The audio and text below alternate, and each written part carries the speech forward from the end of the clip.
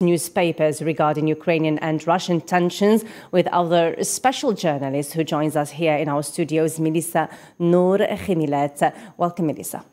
Thank you, Nadia, and welcome, dear viewers. So, in today's press review, Nadia, Illusions of Diplomacy and the Ghosts of War in Ukraine is a title chosen by Al Quds Al Arabi uh, for its cover in its weekly edition. The newspaper saw, in contrast to the clarity that characterized the Russian military invasion of Ukraine, the geopolitical purposes um, uh, that can be integrated with it are not as clear, Nadia. So the goal of establishing the separatist entities of Donetsk and Luhansk or the prevention of Ukraine from joining NATO are not worth all the risks that Moscow will have to take.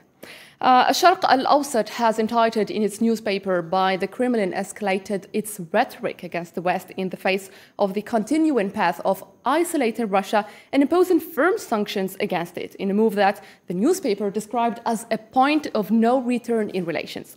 The British Guardian asked in an opinion column why the West always loses to Putin and whether the Allies are there today um, to uh, dare today to overthrow the, pres- the Russian president. I say after they failed to prevent the invasion.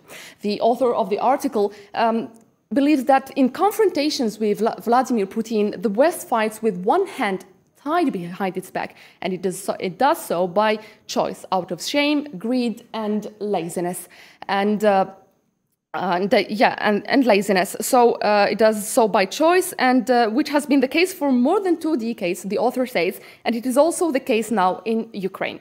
In the developments of the military operation on Ukraine on its fourth day, the British daily The Sun wrote that fierce battles are continuing on various fronts as the Russian military operation enters its fourth day. Uh, sirens sounded in the capital Kiev after it was exposed to a new wave of what it called the Russian bombing or the bomb blast. While world markets shiver in fear of a new economic downtown, we read in Le Monde that Europe is facing the specter of energy shock and it is currently avoiding sanctions on Russian hydrocarbons, which, even if that means financing Vladimir Putin's war and or regime in order to limit collateral damage to its economy.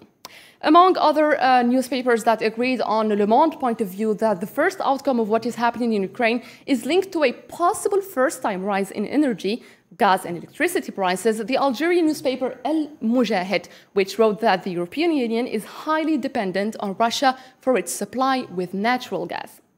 Le Figaro newspaper considered uh, the Russian control of Chernobyl is more symbolic than dangerous.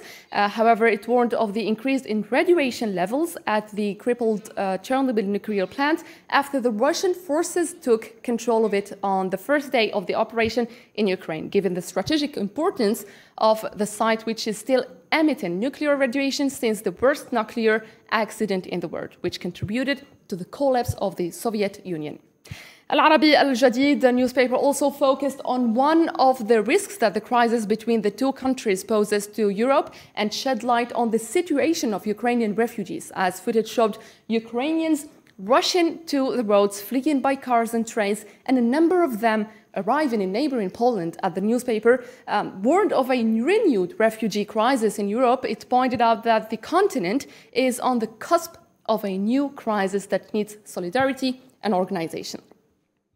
A Word in Search of a New uh, System is the title of the editorial published by Al Arab uh, newspaper. Its writer says that Russia's entry into Ukraine uh, is militarily turning a page in international relations under an American administration. Uh, that is content, uh, or that we see that the United States is content with uh, watching what is going on in the world. That's it for me today, Nadia, and back to you. Thank you so much, Melissa.